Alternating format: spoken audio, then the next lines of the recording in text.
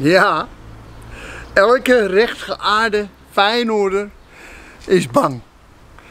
Elke Feyenoorder die doet het een beetje in zijn broek voor de klassieker die eraan komt. Ja, ja. En, en ik ook. Ja, ja, ja. En, en het is begrijpelijk. Want wij Feyenoorders, ja, wij snappen ook wel wat we gezien hebben de afgelopen tijd van Feyenoord. Ja, dat was natuurlijk heel, heel erg slecht, dat voetbal. Dat leek natuurlijk helemaal nergens op. En wij Feyenoorders hebben natuurlijk ook gezien hoe Ajax vrolijk erop los combineert en gewoon heerlijk loopt te voetballen. Ja. Dus wij weten en wij beseffen dat er mogelijk een afgang zit aan te komen daar in de Kuip. En voor Feyenoorders is het zo, dit is de wedstrijd. Feyenoord-Ajax. Je kan een Feyenoorder geen groter verdriet doen dan dat Ajax daar een beetje een pak slagen uitdeelt aan Feyenoord in de Kuip. Dat is het allerergste wat er kan gebeuren.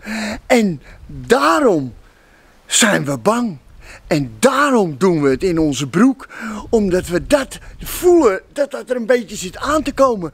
En daarom, vrienden, hebben we enig houvast. Ja, daarom wil ik jullie even meenemen naar twee jaar geleden. Weten jullie dat nog?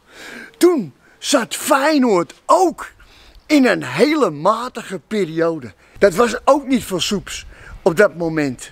Want uiteindelijk eindigde toen Feyenoord ruim 20 punten achter Ajax in dat seizoen. Dus iedereen ging toen naar de Kuip. Dat was op 27 januari, ja, 2019. Ging iedereen naar de Kuip met het idee: oh, oh, oh, we worden afgedroogd door Ajax. Want vergis je niet, hè?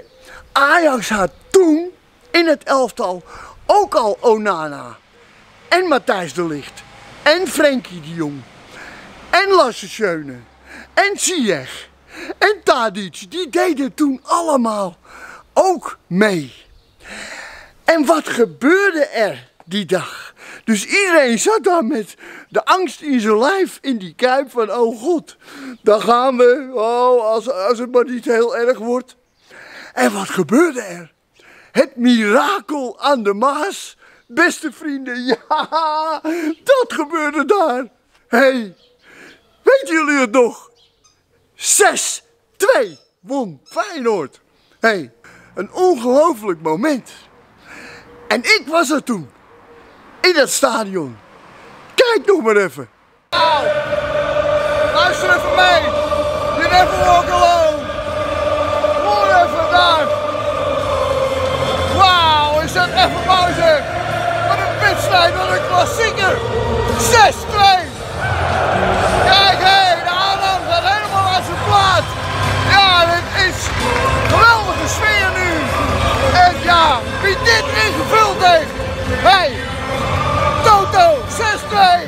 Nou, die stapel, stapel gek. Nou,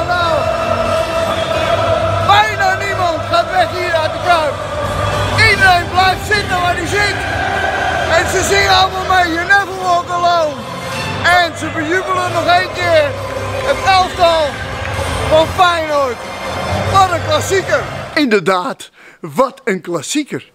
Ja, en zou dat dan nu weer mogelijk zijn? Zou er weer een mirakel aan de Maas kunnen ontstaan? Ha! Ja, of is het hopen tegen beter weten in?